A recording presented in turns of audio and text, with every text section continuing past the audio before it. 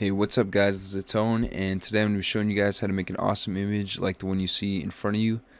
Um, just follow along, it's going to kind of be a walkthrough, uh, tutorial walkthrough, whatever you want to call it. But yeah, there's going to be some times when you can customize it the, to the way that you want. And yeah, just feel free, follow along, like, let me know what you thought of the video, and subscribe. We're trying to hit a thousand, so thank you guys. Hey, what's up guys, this is Atone here and it's been a while but today I've got a Call of Duty Modern Warfare banner tutorial for you guys. Um, I do apologize I'm a bit sick so um, yeah I don't know might hear some coughing but I just want to get this video out there because I haven't uploaded in quite a while. Alright so starting off I just grabbed three images off the internet so one two three. And I just cut this one out, as you can see here. And I added a little circle onto it, just to make it kind of look better. So it would kind of pop out. And I'm just going to fix this up real quick. Oop.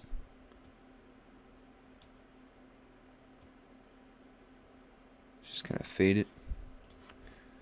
Alright, and we should be good.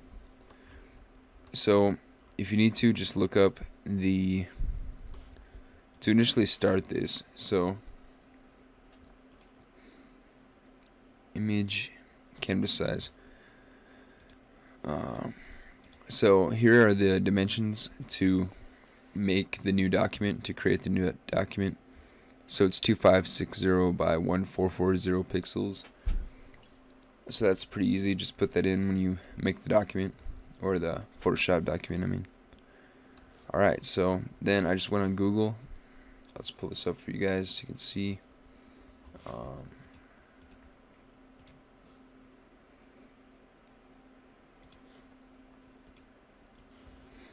so I searched this up. This is kind of going to be a walkthrough, less than a tutorial. And I just picked some pictures off of here. So it's pretty easy. Copy and paste. Alright. So now what I'm going to start doing is just kind of making it and I'll explain what I'm doing as I go. So yeah, it should be pretty good. Should turn out fine. So I'm going to start off by trying to blend these together a bit better than they are.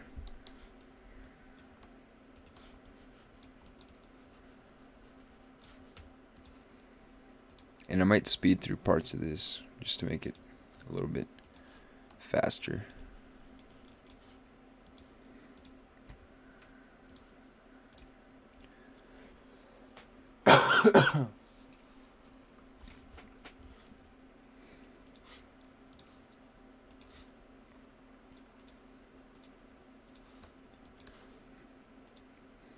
so right now I'm just kind of doing shading. Kind of trying to make these a bit closer in um, level of brightness, you could say. Try to make it look like a realistic shade. Or fade, I should say. And then... Let's find his gun. His weapon. And this you don't have to be too careful with. But just kind of outline it.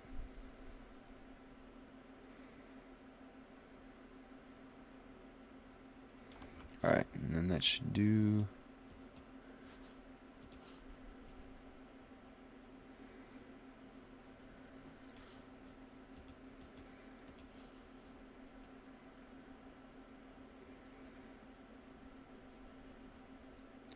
Just get his arm a bit there. And yeah. So if you guys would, please do like the video. That would be awesome. Hopefully you guys are enjoying what you're watching. Alright, so now that's pretty good. Looking pretty good right now. So what I'm going to do is try and darken this up a bit more. Back here. Ooh.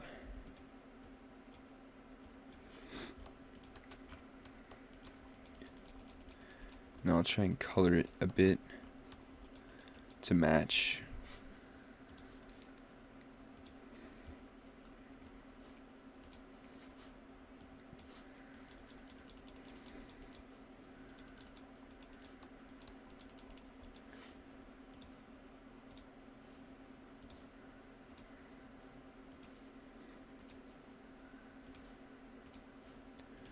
So I'm just going to put this on color and turn the saturation down on the layer.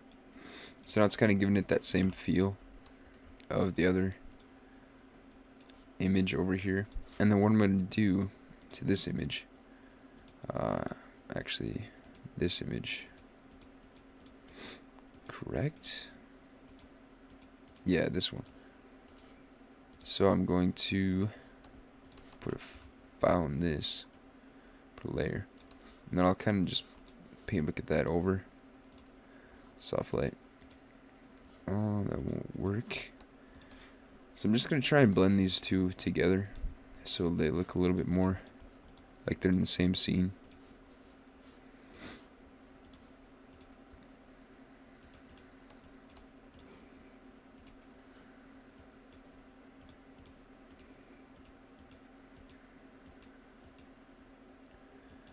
So I don't know, that kind of works.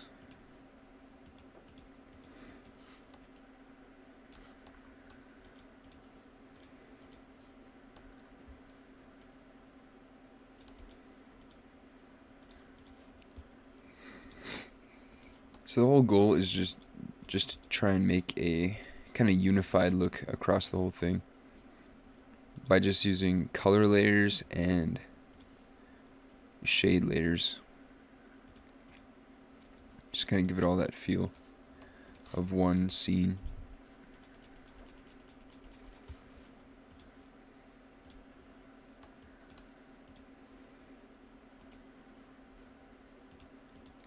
Alright, so now we're all, this all looks pretty connected.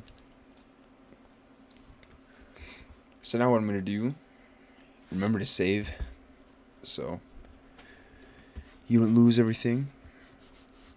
Then I'm going to go layer, adjustment layer, brightness contrast. And then from there, I'm going to turn, I'm just going to mess with these. So I'll brightness down a bit. Contrast up.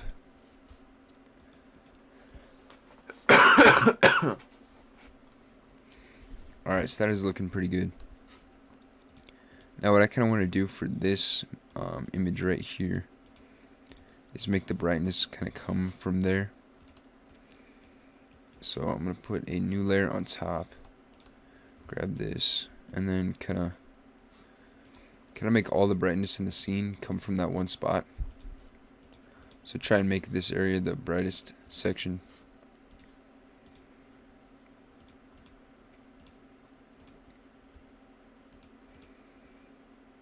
Yeah, it's kind of working, but at the same time, not really.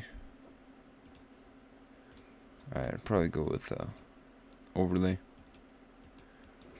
And then, along with that, I'm going to take a black and kind of curve around here and make it kind of look like the darker spots are actually darker.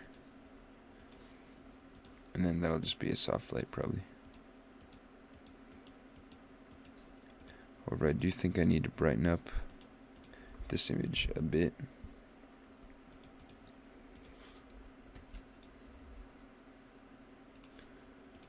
And then also level, like levels, is a good way to brighten up images as well.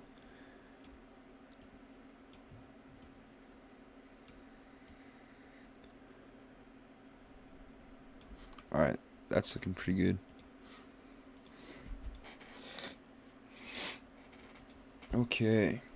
So I'm going to do is make a name. So for tutorial sake, I'm just going to use name as the name. Name, name. And I'm going to check. I'm pretty sure the color is gold for this year, but I'm not sure. So I'm going to look it up. Okay, so they don't have any color. It's kind of like black and white for the theme. So I'm just going to choose gold slash white because our background is dark and bluish. So I'm just going to go make a new layer up top. Ooh, make a new layer. Type in name. Alright. Pick a new font that looks good. My mic keeps shifting around. Sorry if that just destroyed your ears. But, um, first, if you guys, ooh. Um, wait, we want that.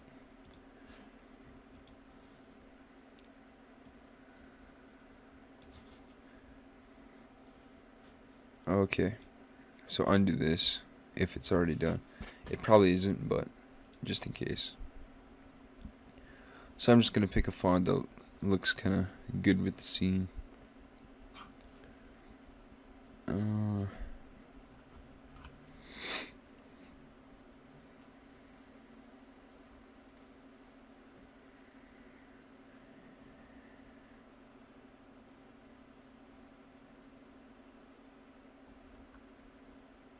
I don't know. Tough stuff.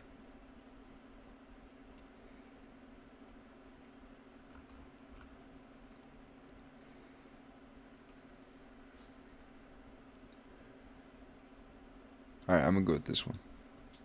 That should work pretty well. Then I am gonna change the color to this. Ish.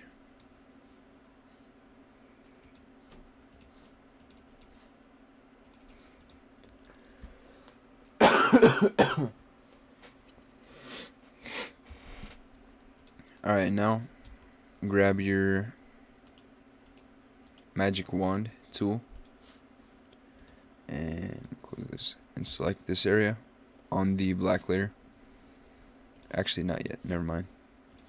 So grab your text, go Control T, transform, hold Shift if you're on Photoshop CS6. Just kind of make it the size you want it. And I'm gonna go. I'm going to rasterize this. Right click, rasterize type then control T again. Oh crap. Right click, distort, or actually perspective. I'm gonna drag it out like this. Uh, yeah.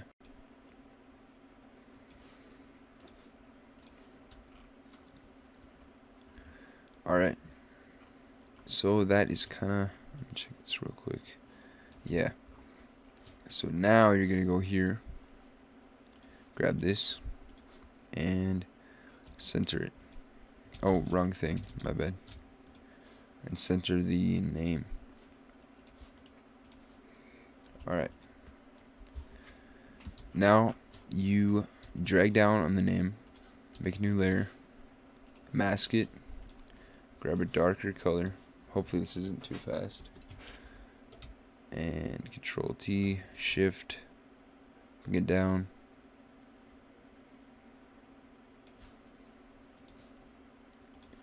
and that should work pretty good. So I'm just going to do is go down here, take a little tool, and connect all the corners. It's pretty easy.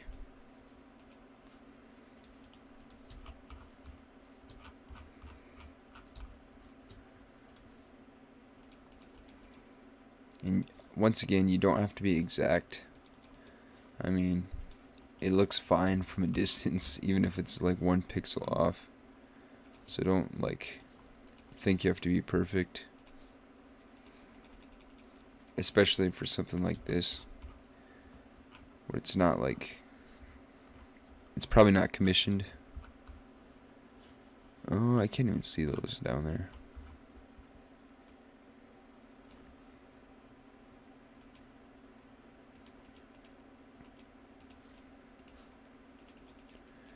Alright, just fill that in.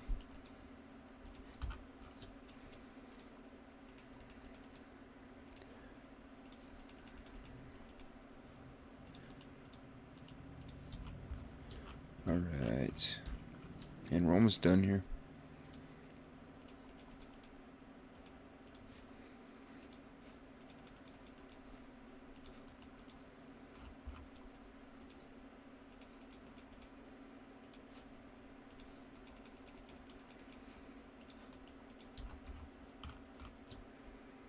Alright, I'm just trying to speed through this thing as quick as I can.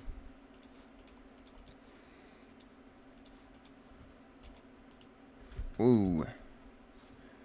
No, no, no, no.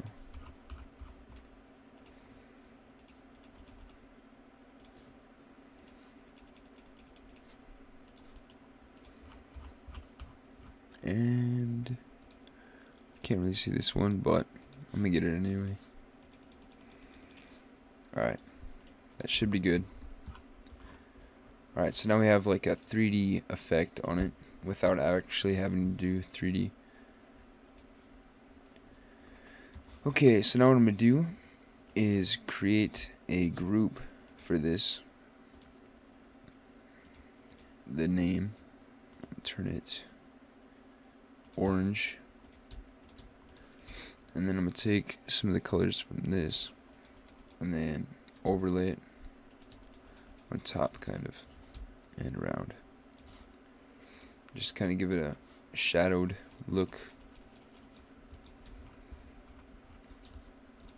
And then do the same for the bottom portion. Just grab colors from like his face, other areas.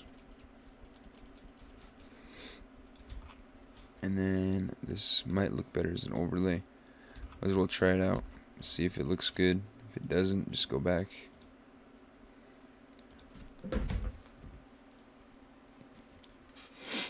So now, double click on the layer gonna zoom in. Double click on the layer. Inner glow. And then turn this down. Feel free to just copy the settings I have right here. Then go to overlay. And actually, yeah, soft light should work pretty well. And that'll give you kind of an outline. I might go with overlay just so it looks more the same color. Just turn it down. Alright, that should look pretty good. And then, I'm just going to check this out real quick because it might be something cool.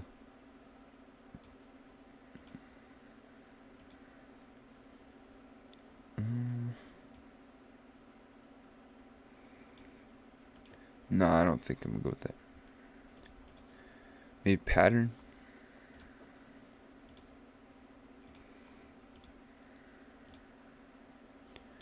Nah. Okay.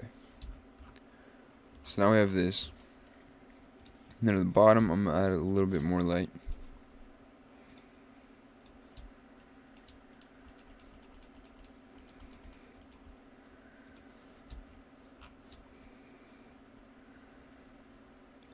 Alright, and then I'm going to take the entire group a onto that. Grab black and just kind of add some more depth to it.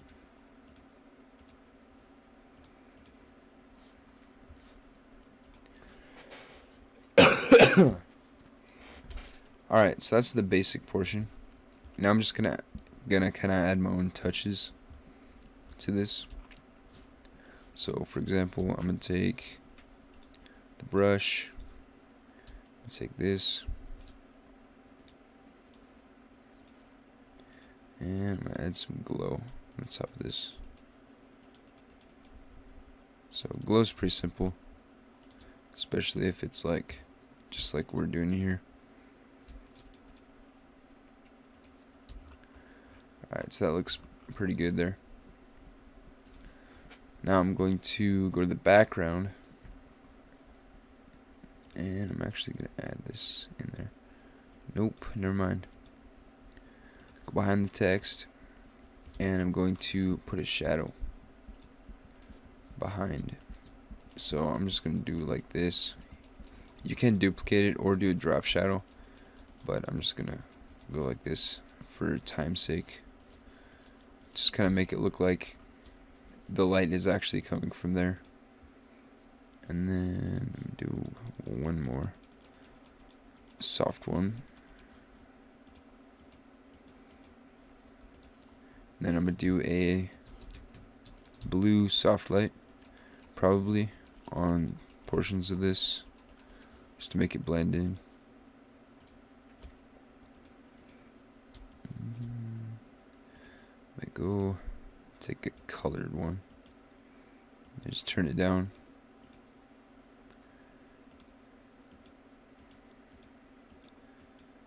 Yeah, that works pretty well.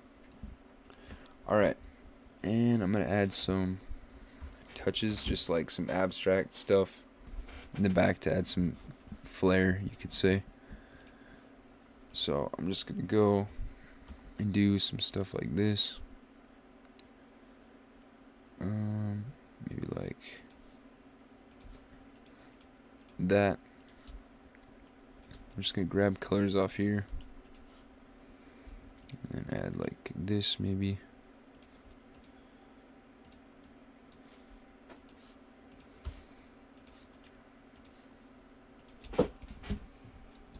And then you can do whatever you want for this stuff. I'm just trying to add some more detail. Try to make it look a little bit cooler. And then...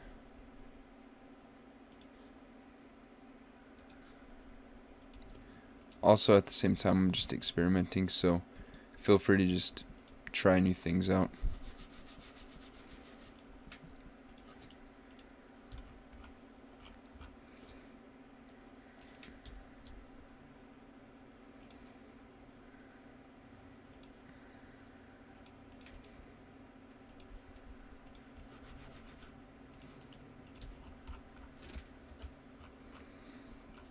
So yeah, that worked out pretty good. I would say. And then you can do things like um, I'm gonna do one right behind, I think. Just kind of demonstrate. Do one more, like right here.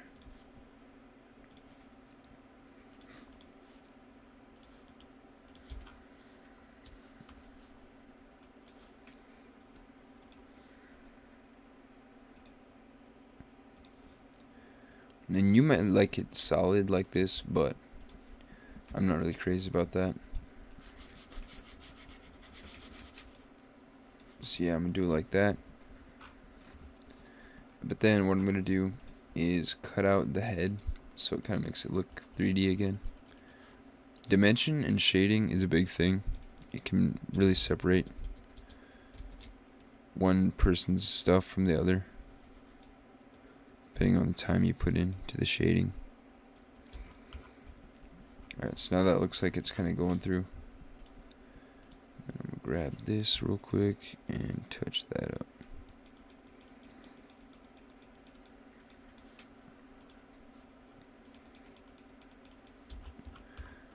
Okay. Yeah, that looks pretty good. And then, just for like being cool, Do this as well. So it looks like the cord is in front. Um, might do the weapon.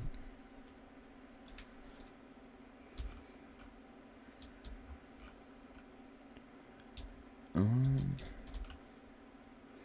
actually, I might do the arm. What can I even I don't know if I can even do it on this. I could do it behind this, maybe.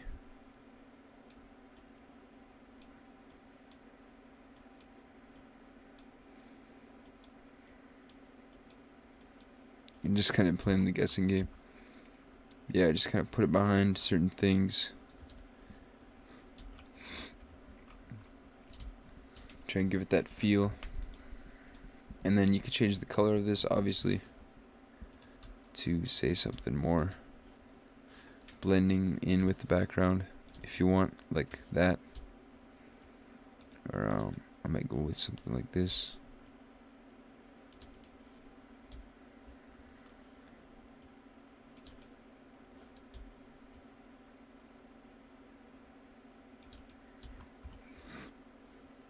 Maybe white.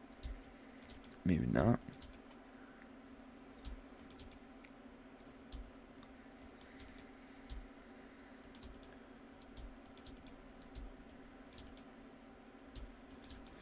Just find the right color that you think is right. Alright, so now we're pretty much at the end. So what I'm going to do here is going to look up particle.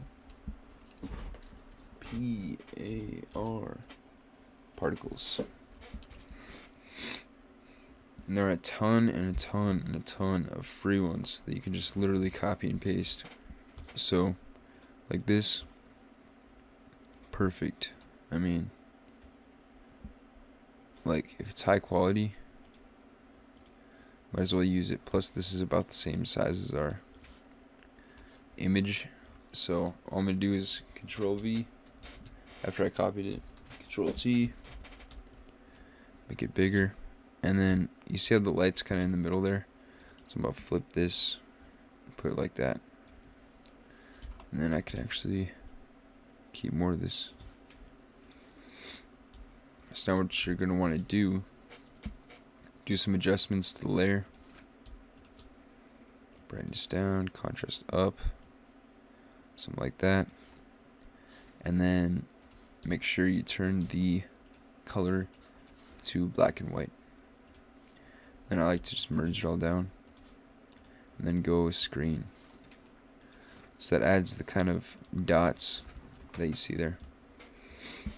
So I'm going to finish this all up by selecting them all, putting them in one folder, then duplicating the folder, merging the group, and then filter, camera raw, always try and use camera raw. It's a great feature and you can fix a lot of stuff that you didn't even know was messed up. Wow it looks kind of cool.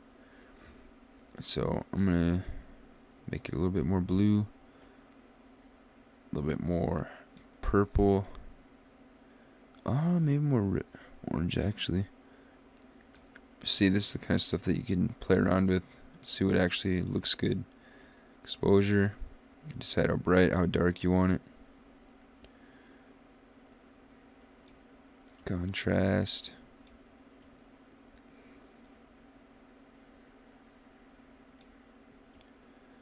And just kind of, you get to pick the feel of your design.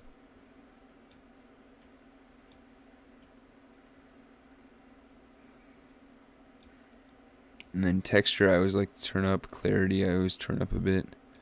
And dehaze, I always turn up a bit. So it just kind of sharpens the image. Vibrance, this is all personal choice. I'm probably going to turn mine down a little bit. And then saturation. Actually, I might turn the saturation down, vibrance up.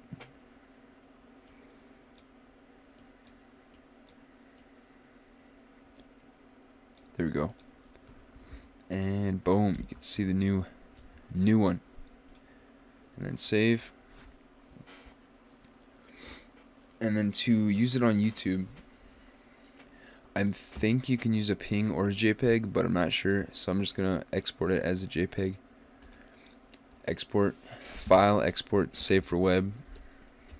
Make sure your settings are like this.